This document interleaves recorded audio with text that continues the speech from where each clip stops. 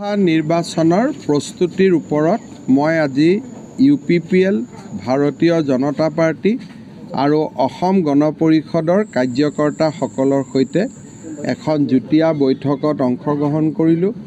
এই বৈঠকত আমাৰ বি জে পি দলৰ নেতৃত্ব ইউ পি পি এল দলৰ নেতৃত্ব আৰু অসম গণ পৰিষদ দলৰ নেতৃবৃন্দ উপস্থিত আছিল।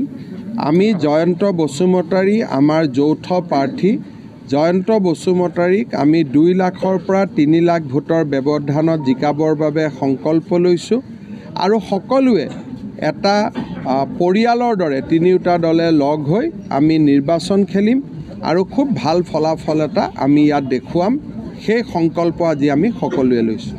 আ, চাওক আমি যোৱা নিৰ্বাচনবিলাকৰ যদি ফলাফল চাই বিধানসভা আৰু বি টি চি কাউন্সিল এই দুইটা কাউন্সিলৰ যদি ফলাফলসমূহ চাই তেতিয়াহ'লে আমি ডেৰ লাখৰ পৰা দুই লাখ ভোটত আগত আছোঁ। এতিয়া আমি এক লাখ ভোট এইবাৰ বঢ়াব খুজিছোঁ।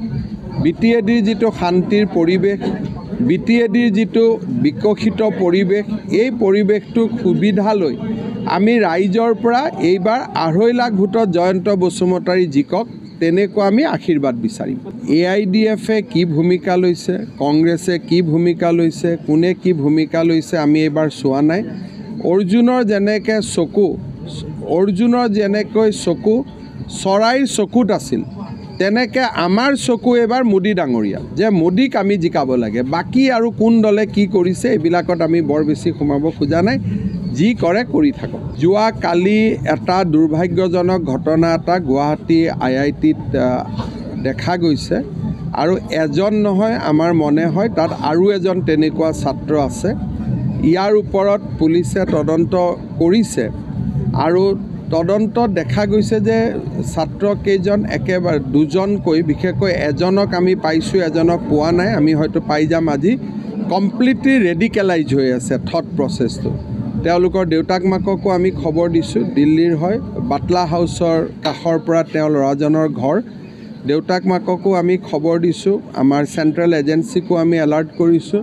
কিন্তু ল'ৰাজনৰ লগত কথা পাতিলে গম পোৱা যায় যে হি ইজ কমপ্লিটলি ৰেডিকেলাইজ নৱশৰণীয়াটো এইবাৰ ইলেকশ্যনতো তেওঁ প্ৰতিদ্বন্দ্বিতা কৰাৰ কাৰণে এতিয়ালৈকেতো মই শুনা নাই। আৰু কি কৰেতো মই শুনা নাই কথাও পতা নাই। গতিকে আৰু এতিয়াতো তেনেকুৱা আৰু নাইও পৰিৱেশটো। এতিয়াতো কোনেও ডিভাইড অসম বিচৰাই নাই গতিকে এইটো সমস্যাই নাই এতিয়া। মই এতিয়া ফণিদাৰ ঘৰতে গৈ আছোঁ মোৰ টাৰ্গেট আছে বৰপেটা তিনি লাখত জিকা। তেৰখন ট্ৰাই কৰি আছোঁ এঘাৰখনতো জিকিমেই দুখনো যদি জিকিব পাৰোঁ ভাল হয়। টাৰ্গেট থাৰ্টিন ইলেভেন কনফাৰ্ম কংগ্ৰেছৰ ডাউট আছে এইবাৰ ছিট পাবও পাৰে নাপাবও পাৰে। পালে এখন পাব পাৰে নাপালে নাপাব পাৰে।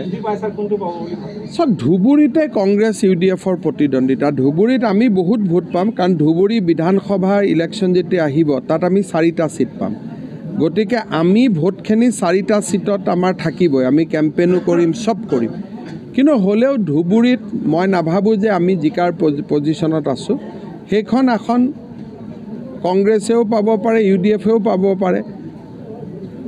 ৰকিবুল হুছেইন পালেও ভাল আজমলে পালেও ভাল। আজমলে পালে অলপ মনটো বেছি বেয়া লাগিব ৰকিবুল হুছেইনে পালে কম বেয়া লাগিব ইমানেই।